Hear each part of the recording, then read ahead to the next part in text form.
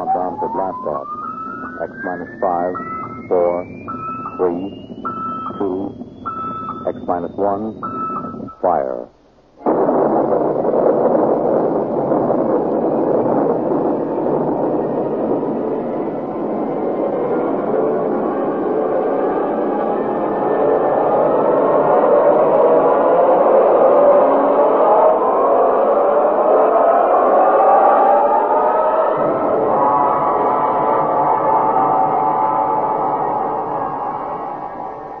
Far horizons of the unknown come tales of new dimensions in time and space.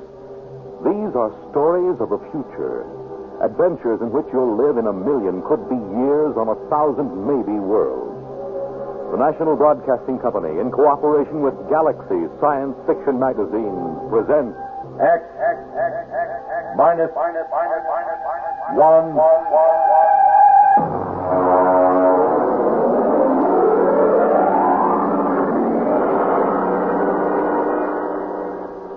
Tonight, we take you some 800 years into the future to meet man's best friend.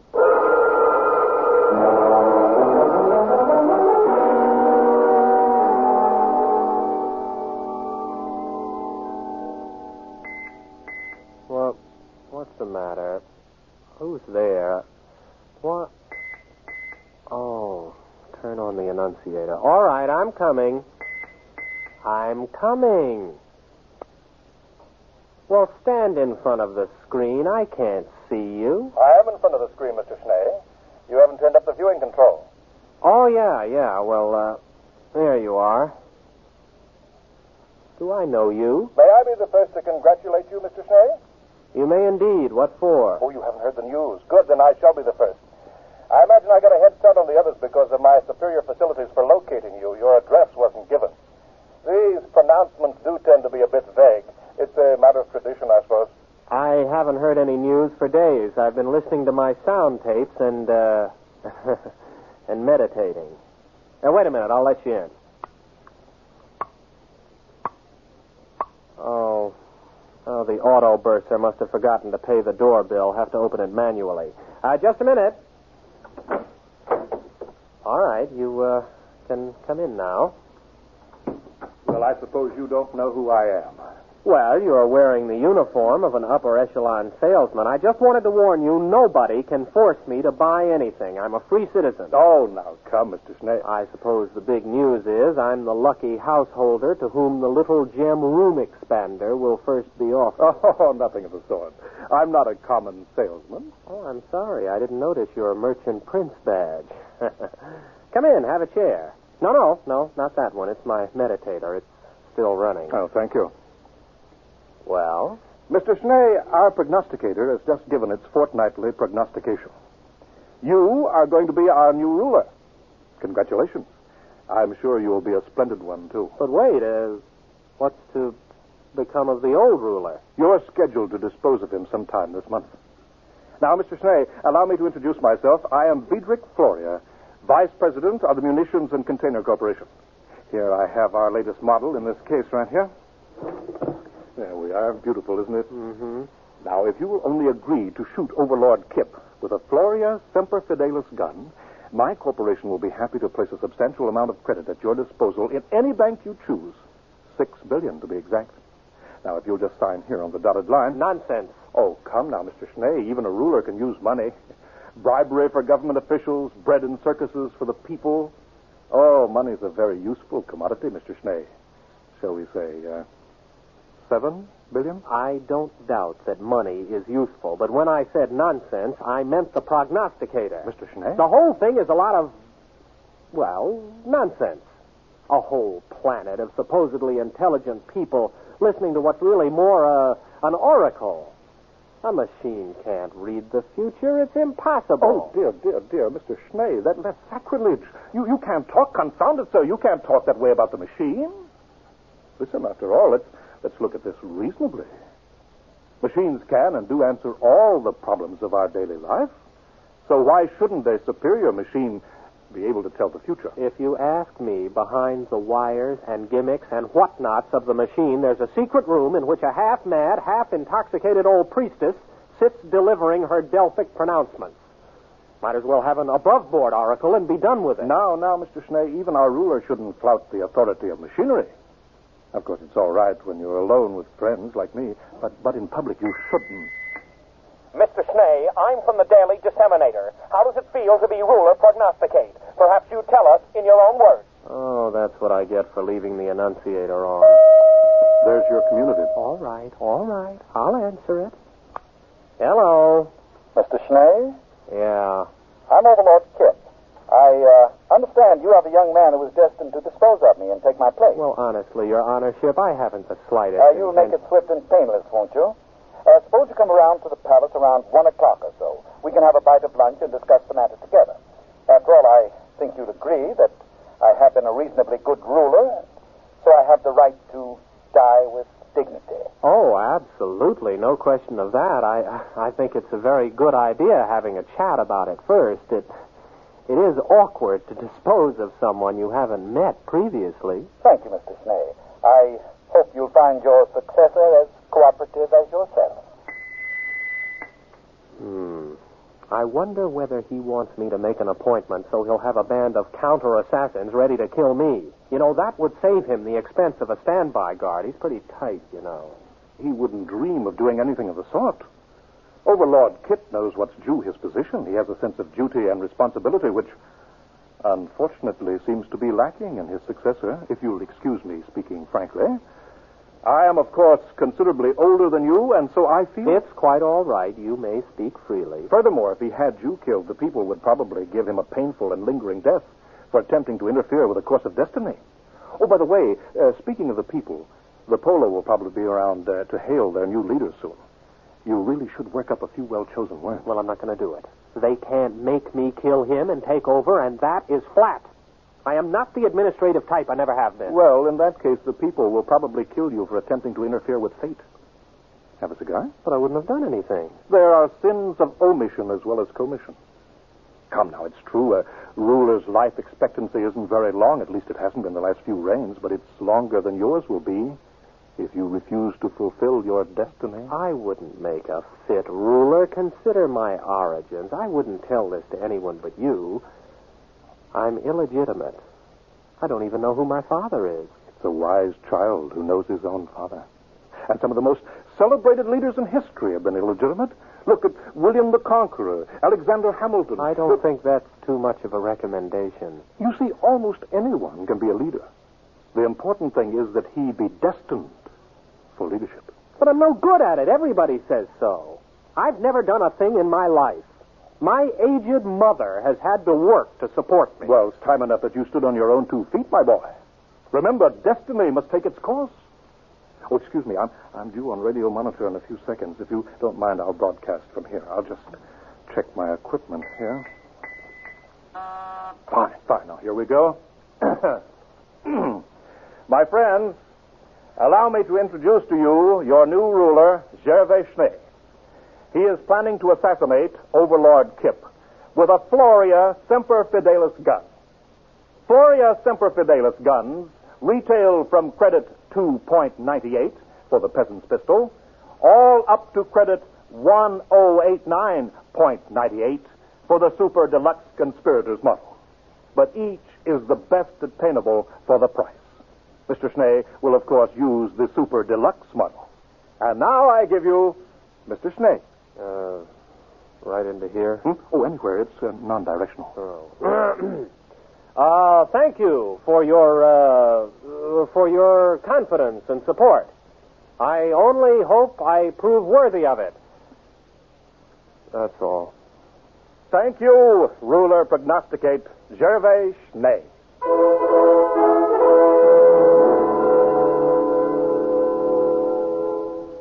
Will you have some more wine, Mr. Schnee? Oh no, thank you, Overlord Kip. I've had too much already. It's a delightful vintage, isn't it?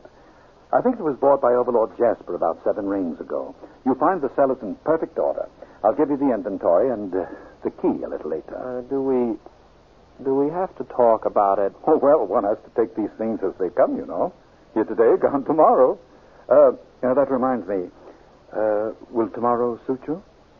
Well, of course, it really doesn't make any difference to me. All right, then. We'll set it for tomorrow, if that's convenient for both of us. I uh, have the afternoon clear. We'll make a public announcement uh, a little later. Well, all right, if you say so. Of course. And uh, now we can go into my study and discuss the details at our leisure. I, uh, I've got half a box of some wonderful cigars left over. I think you'll enjoy them.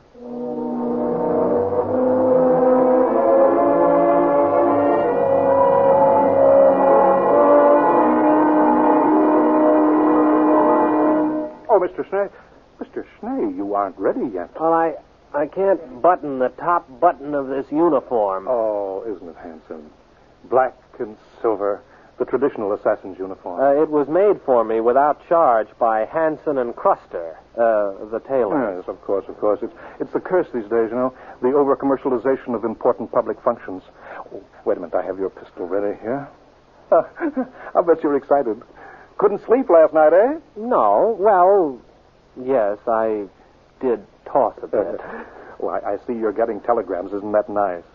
Had your breakfast? oh, well, I, I don't think I'm exactly in the mood for eating. Oh, you should, you know. A good breakfast makes good aim. Well, I really couldn't eat a thing. Well, you'll have a fine lunch after it's all over. Uh, I saw your black and silver limousine, Fedora. What? I don't have a black and silver limousine. You do now. oh, yes. You know, there's going to be a brass band along. There'll be crowds cheering. Oh, it's such a lovely morning. You've, uh, you've hired two removers, I trust. Removers. Yes, yes, I think so. Good. I- Oh, what pageantry. The black and silver limousine, yourself in your lovely uniform, the black cloak and hood of the body removers sitting beside the chauffeurs, silent. The band playing the funeral march as you move down the boulevard. Crowds cheering, little children let out of school presenting you with flowers and, and television cameras. Oh, what a sight, what a sight. Well, now it's about 10.30. Shall we be off?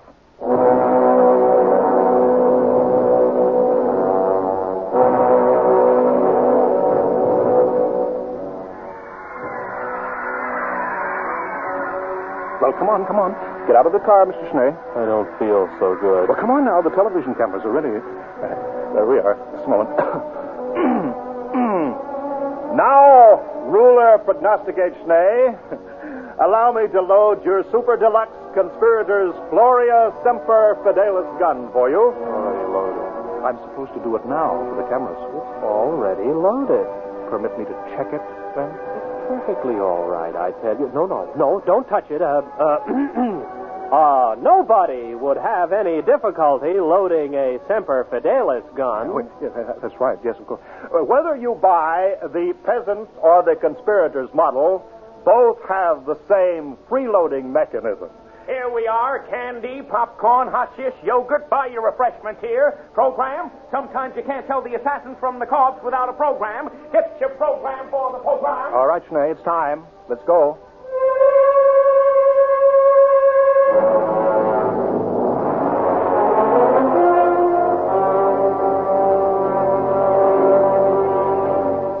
Well, here we are again, eh? Uh, Overlord Kip, I am officially here. Uh, well, now, uh, just a minute, old man. I have my speech, you know. Your speech? Oh, oh. I'm sorry, really. Well, that's all right. Uh, ladies and gentlemen, before the conclusion of this ceremony, I wish to remind you of a few important facts concerning my reign, which comes to an end in just a few minutes. I call your attention to the budget of 2786. 83 billion credits against an outgo of 72 billion. Not to mention the dam across the Balga River, which was constructed three months short of the proposed five-year date at a cost of 73 billion. I thank you.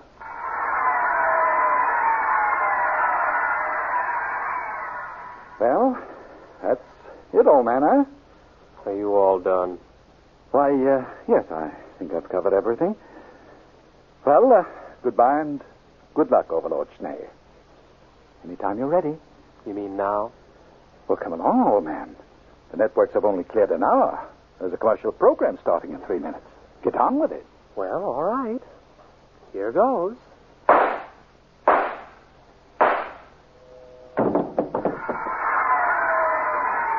All right, all right.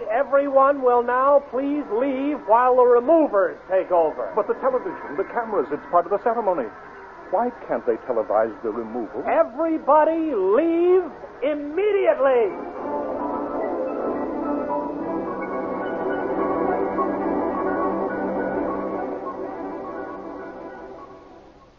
They're all gone now, Overlord Schnee.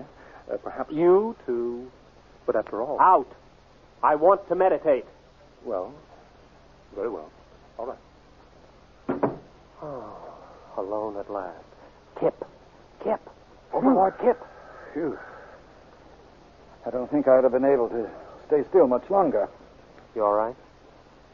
Schnee, you're a good shot. That blank really stung on a very tender spot, I might add. No, no, no time for chatting. We've got to get this over in a hurry. Now comes the part where your friends will have to look like real removers. I hope they can give it the professional touch. Don't worry about us. We are real removers. At least both of us have participated in removals. I'll uh, take off my hood. But wait.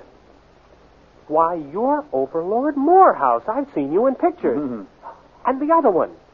You're Shinnick. You died before I was born. That is, you were supposed to have died. Both of you were.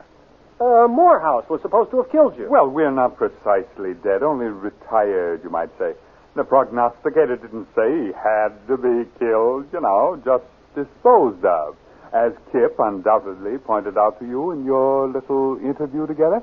Sorry I couldn't tell you the truth, old man, but you might have changed your mind and given us away. We've formed a little club of dead overlords. We're looking forward to the day when you join us, Overlord Schnee. Well, you better hurry. If the four of us are discovered, the mob will tear us to pieces. Oh, you're right. Uh, get on the stretcher, Kip. Bad enough we're going to have to carry you out. At least don't expect us to lift you up.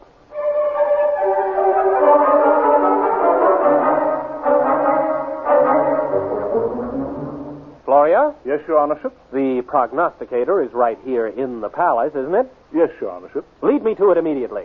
Certainly, Your Honorship. It's this way.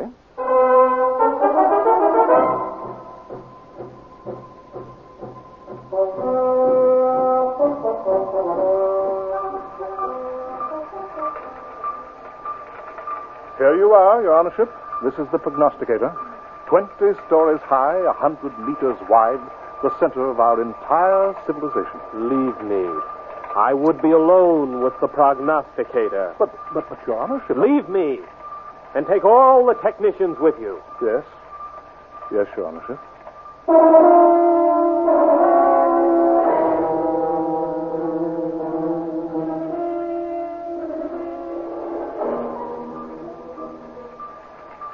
You're alone now, Your Honorship? You too. Leave me. Well, yes. Yes. sir. Yes, Your Honorship. Your wishes are my command. Well.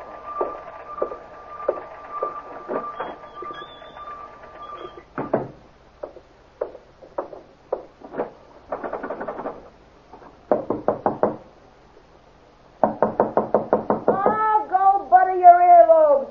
Can't you read your dumb clock? That door says private. Open up. It's me, Gervais. Open up. Oh, all right, all right. Don't rush me. Don't rush me. Oh, it's you, is it? Let me in. Well, hurry up.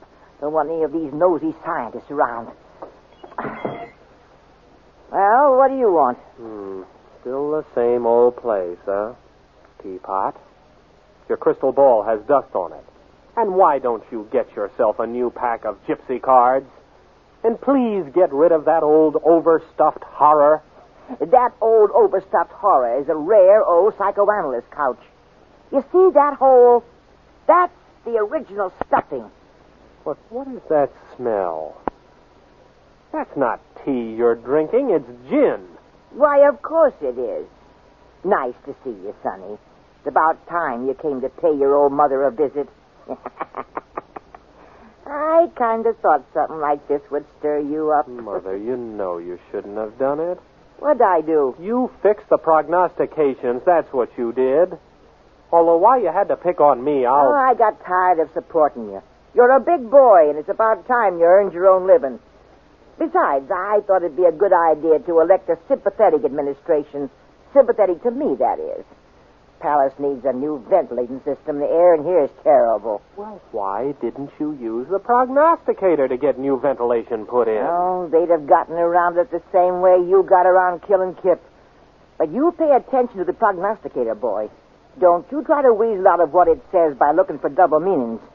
It's time you overlords learned that when the prognosticator says something, it means it. Yes, Mother. I'd hate to have to give orders to have my own boy disposed of. The last three disposals weren't so bad. But sometimes those disposals can turn out real messy. Yes, Mother. Oh, maybe blood is thicker than water, but not much. Yes, Mother. And why shouldn't you listen to my prognostications, huh? Just because they're dolled up a little doesn't mean they're not true. Don't I have a crystal ball? Don't I have a gypsy card pack? Don't I have tea leaves? Best tea leaves money can buy. Yes, Mother. Uh, so, what are you going to do? I'm going to have the ventilating system attended to right away. Now, that's my boy. Now, now look at these here tea leaves in the bottom of my cup of gin. Yes, Mother. I can see that everything's going to work out fine. Just fine.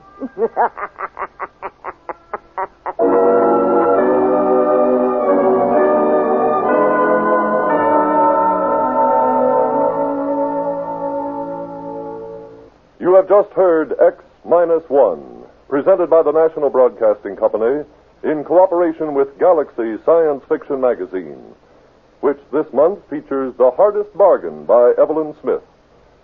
Galaxy Magazine on your newsstand today. Tonight, X Minus One has brought you Man's Best Friend, a story from the pages of Galaxy, written by Evelyn Smith and adapted for radio by Ernest Kinoy. Featured in the cast were William Redfield as Schnee, Wendell Holmes as Floria, Santos Ortega as Kip, and Leona Powers as Mother, with Raymond Edward Johnson and Bob Hastings. Your announcer, Radcliffe Hall. With this broadcast, X Minus One concludes its present series. The show will return to the air on Thursday, June 20th.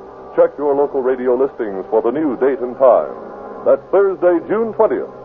X Minus One was directed by Daniel Sutter and is an NBC Radio Network production.